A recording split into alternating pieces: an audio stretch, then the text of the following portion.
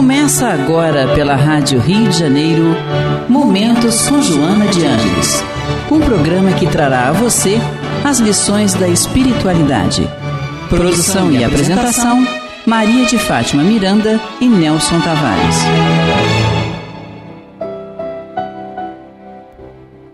Amigos ouvintes, muita paz. Estamos retomando o estudo da nossa obra o Homem Integral, quer dizer, a obra da Joana de Anjos através do Divaldo Franco.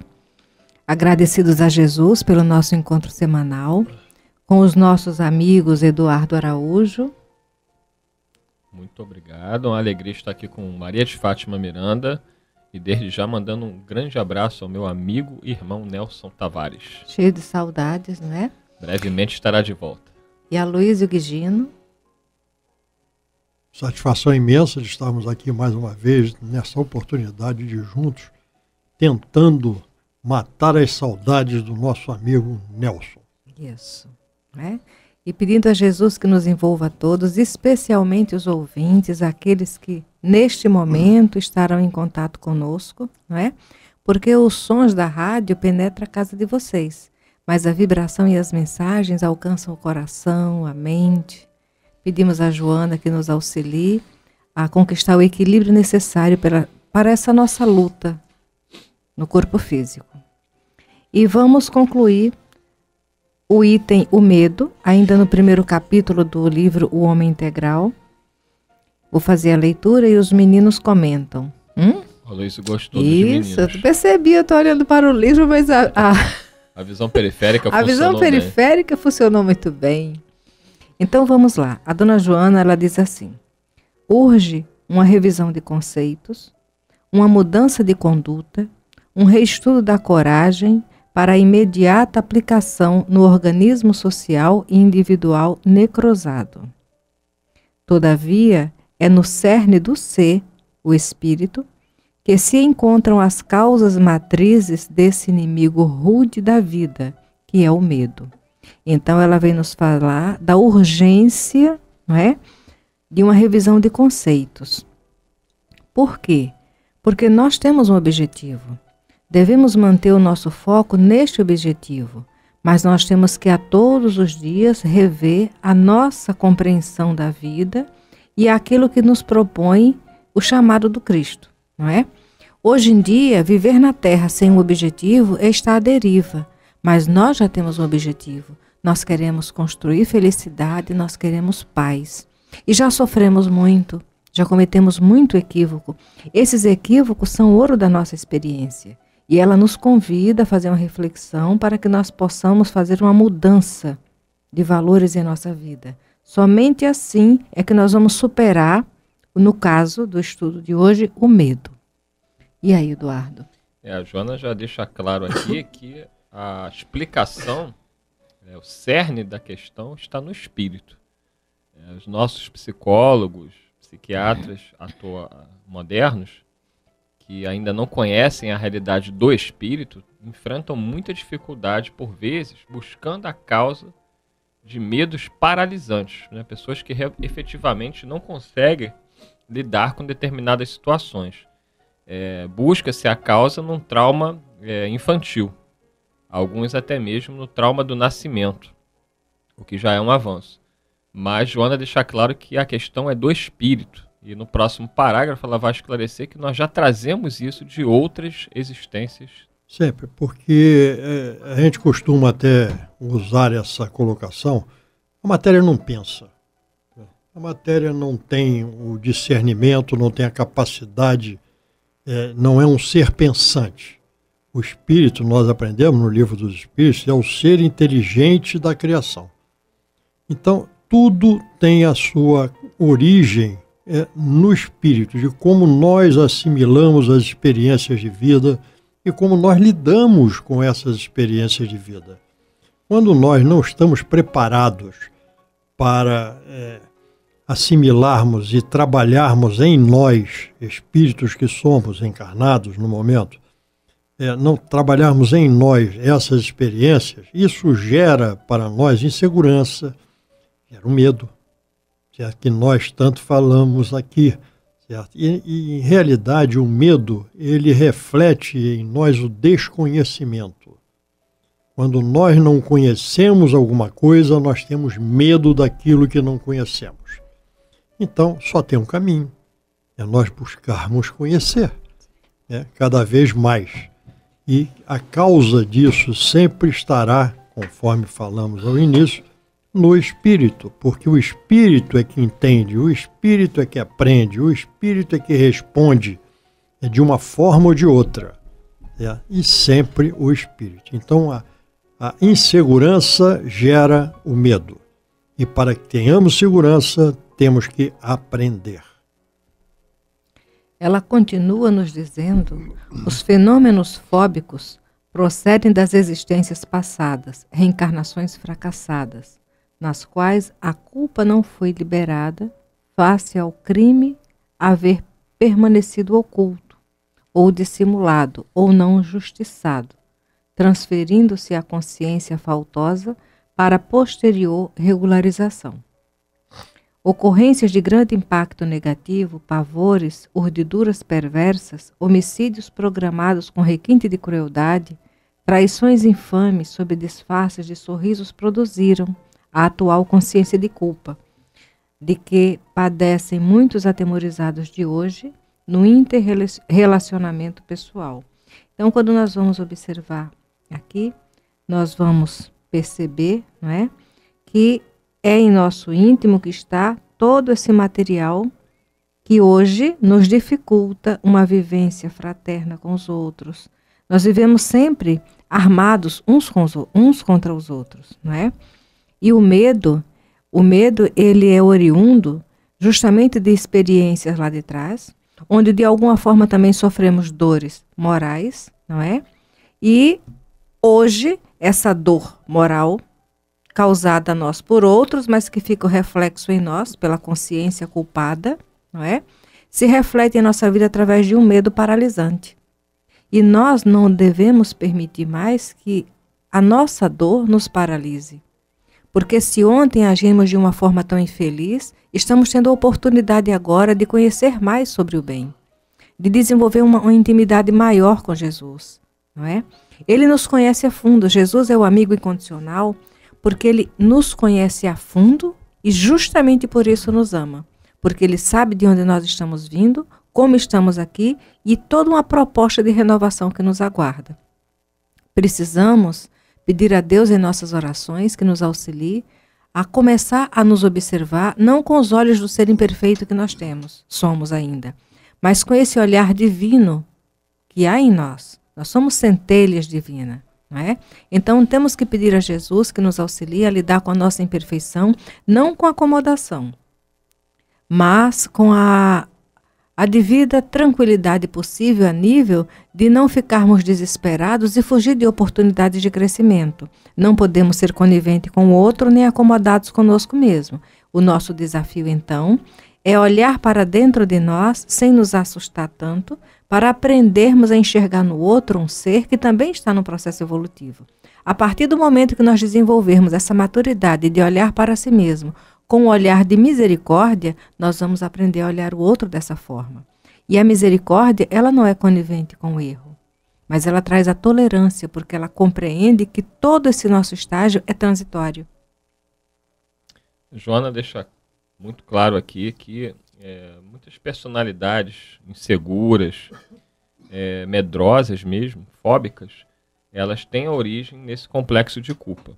Porque, invariavelmente, nós viemos de encarnações passadas onde tivemos é, ocorrências, como ela diz aqui, de grande impacto negativo. É, pavores, urdiduras perversas, homicídios programados com requintes de crueldade. É, tenho visto né, na, na, prática, como psicólogo, é, essa ocorrência é cada vez mais comum, inclusive em crianças e jovens que demonstram uma insegurança, um pavor muito grande. Eu vejo muitos jovens que sequer conseguem se relacionar. Olha que coisa impressionante. Eles têm medo de, do contato com o outro. E aí eu questiono, mas por que você não consegue falar? Ele falou, não sei. Eu, eu olho para a pessoa, eu quero falar, mas eu não consigo. estou falando de crianças, às vezes, e jovens, 12, 13 anos, é, que não tiveram grandes traumas, famílias estruturadas, não é porque você poderia dizer, uhum. não, mas família, pais presentes, mas ele tem uma insegurança tamanha e na, na, na escola sofrem bastante, porque quando tem um trabalho em grupo, quando tem que fazer uma apresentação, aquela questão de você estar tá em evidência, que as pessoas olhem para você, é muito difícil. E muitos deles também apresentam um sentimento de autopunição. Somente como diz Joana, você mergulhando na realidade espiritual para explicar isso. E aí cabe aos pais, aos profissionais que atendem essa criança, esse jovem, estimular a coragem ao enfrentamento da realidade atual. Porque se antes houve, houve o equívoco, houve o trauma, hoje ele pode recomeçar, ele tem que aprender a se reconstruir. E aí é tarefa dos pais, sobretudo dos pais, mas claro, psicólogos que atendem essas crianças e jovens devem estimulá-los a acreditarem que é possível sim é, a superação destes medos. E eles vão ficando muito felizes e mais otimistas quando a gente consegue estimulá-los e eles conseguem obter pequenas vitórias. Eu vejo que alguns chegam para mim e falam assim: olha, eu consegui falar com um colega. Aquilo para ele é uma superação. Falar com uma, olha, falar com uma pessoa é uma superação.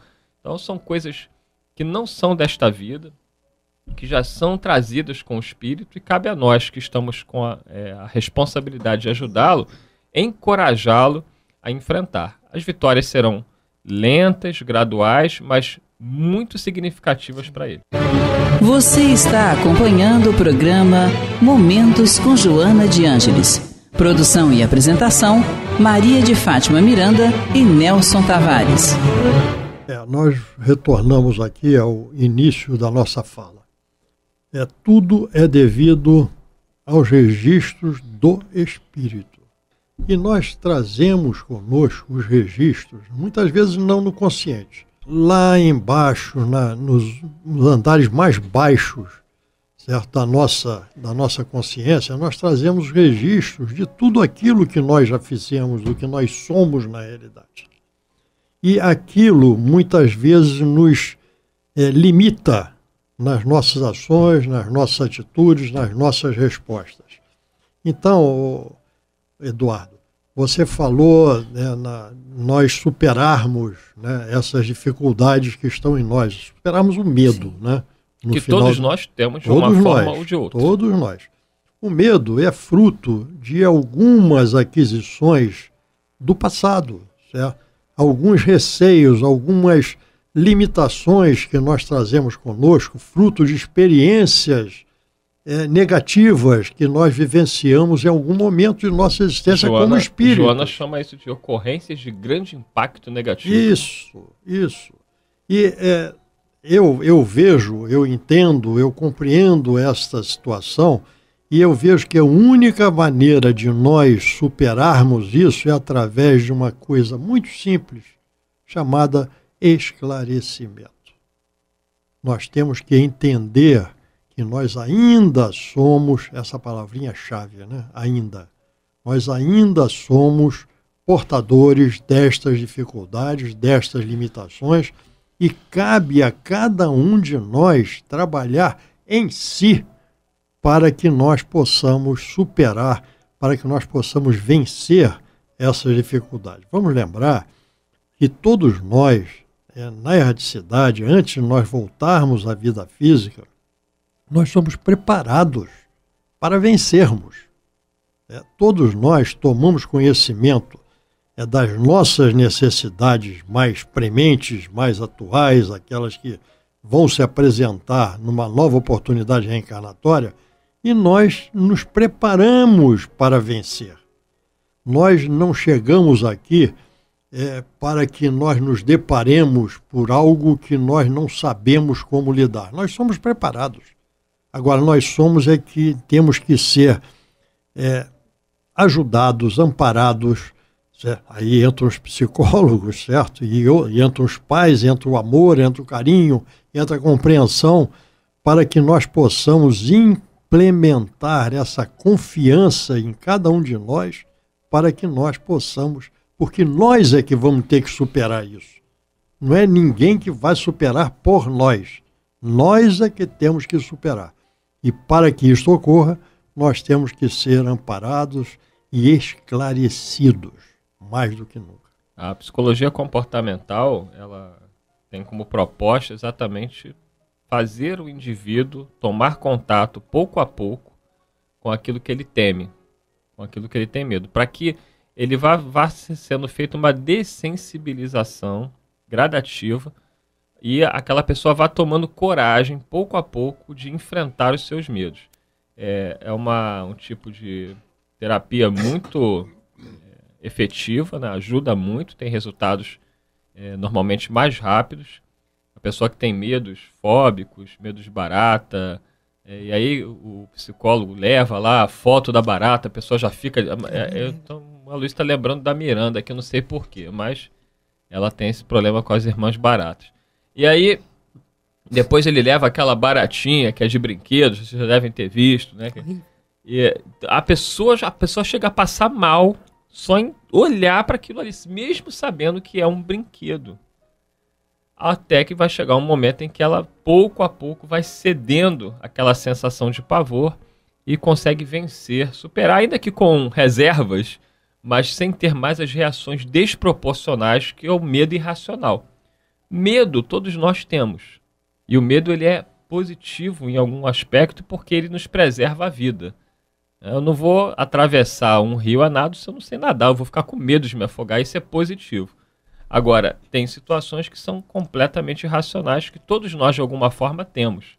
Eu, por exemplo, tenho um receio é, fora do normal de fazer o exame da ressonância magnética, que é entrar naquele bendito tubo. Tem pessoas que entram ali e dormem tranquilamente a Luiz Guigino. E tem outras que já não conseguem. Então são fatos, né? Temos um companheiro é, que ele não consegue entrar no mar. Se ele entrar no mar, é, botar ele num barquinho é mesmo que matar ele. E é uma criatura extremamente corajosa, tá? um policial. Cada um de nós traz, conforme Joana de, deixar claro aqui, do nosso passado, essas experiências, e daí as dificuldades de nós mesmos entender o porquê que nós temos medo de questões que nós sabemos que racionalmente não tem razão de ser. É, mas corrija, a minha relação com as baratinhas, ah. elas só não são convidadas para ficar comigo na minha casa. Ela vai se defender. Entendeu? Então eu prefiro fechar as portas para que elas não entrem. Francisco Assis diz que nós não. devemos amar a todos ah, os seres Ah, eu vivos, amo, sim, sim. Inclusive claro as irmãs baratinhas. Você ama, mas elas lá e você cá, né? tá bom. Eu amo, preferindo que elas evoluam e saiam desse estágio, que deixem ah, de existir, migrem para um outro tá estágio. Tá Ela continua falando para nós que ocorrências de grande impacto negativo, pavores, urdiduras, per... ah, já lemos já isso, lemos não é? Outro sim, catalépticos, é viu, Eduardo? Coisa... Sepultados vivos que despertaram na tumba e vieram a falecer depois por falta de oxigênio reencarnam-se vitimados pelas profundas claustrofobias, vivendo em precárias condições de sanidade mental. É o meu caso. Viu? São os registros. É. De repente foi lá no Egito. Um daqueles faraós que pensavam que tinham desencarnado não estavam e colocaram lá na tumba. É, as pessoas que fazem o exame da, da ressonância, né, elas dizem que algumas relatam que se sentem como se estivessem enterradas é. vivas. Porque você está preso num tubo né, que é como se fosse um túmulo. Você não tem como sair dali, você está literalmente preso. E esta sensação, ela provoca o, o pânico, não, o medo que é irracional.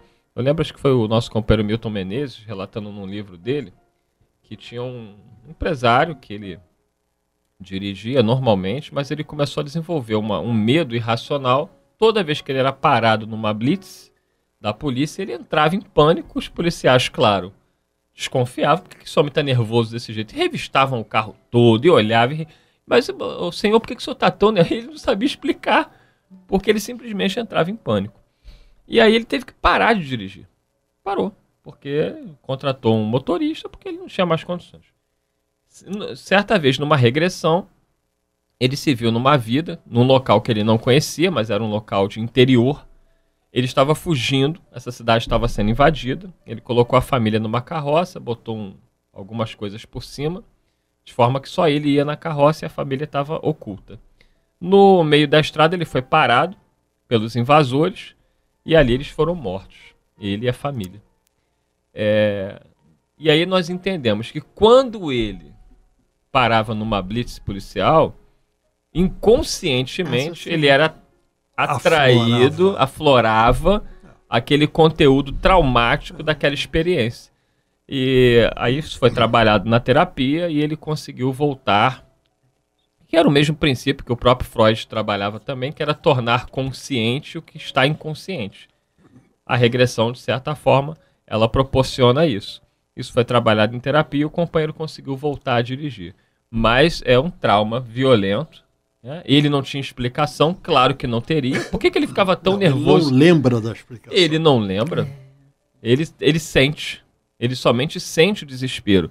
E é evidente que para os policiais também não haveria explicação aquele homem que não devia nada estar naquela situação. E aí, graças né, a, a, a, essa possibilidade da, da regressão, ele conseguiu, neste caso, né, que a, a regressão não é uma panaceia que tudo uhum. resolve, existem casos em que ela é aplicável, outros não. Eu, o companheiro conseguiu, mas uma explicação lógica, racional para algo que, à primeira vista, contando essa história para qualquer um, seria é. irracional.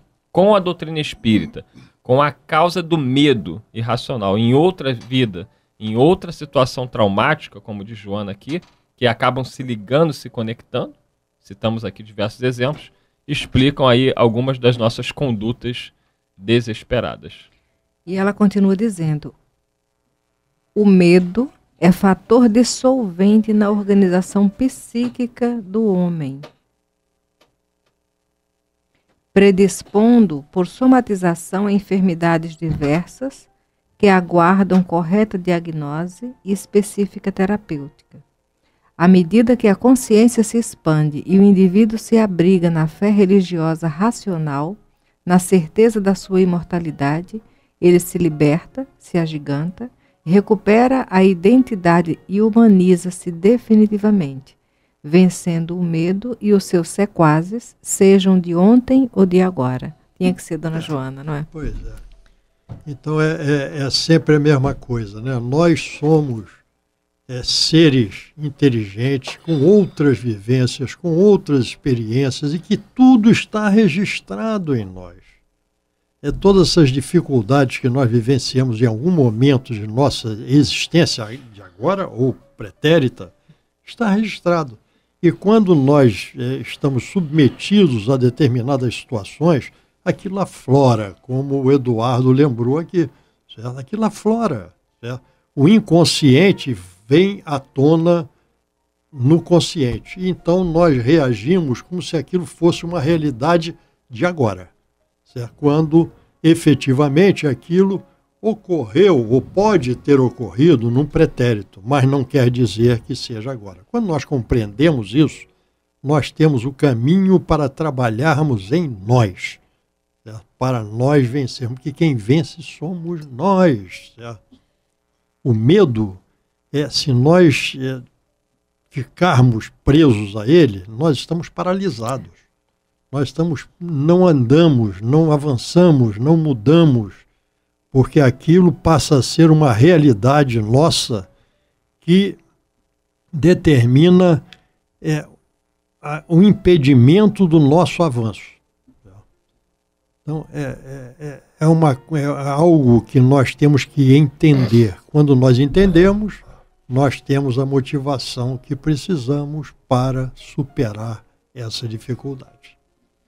Então, esse esforço nosso, não é? E essa consciência calçada no Evangelho vai nos auxiliar a superar esse medo, mas sem desenvolver em nós o destemor, que já é uma outra situação, não é? A prudência, a responsabilidade deve sempre pautar a nossa conduta diária. Esse medo paralisante, ele é pernicioso. Mas isso que você está falando, o destemor, não tem problema não porque nós todos trazemos conosco um instinto de conservação. Sim, sim, e isto sim, faz com que nós é, tenhamos limites nessa nossa exposição. É. Esse destemor, ele fica exacerbado na psicopatia. Refletir um pouco mais e pedir que as bênçãos do Cristo envolvam os ouvintes e os companheiros que nos socorreram neste dia. Muita paz a todos. Muita paz. A Rádio Rio de Janeiro apresentou Momentos com Joana de Ângeles. Um encontro com as lições da espiritualidade. Produção e apresentação: Maria de Fátima Miranda e Nelson Tavares.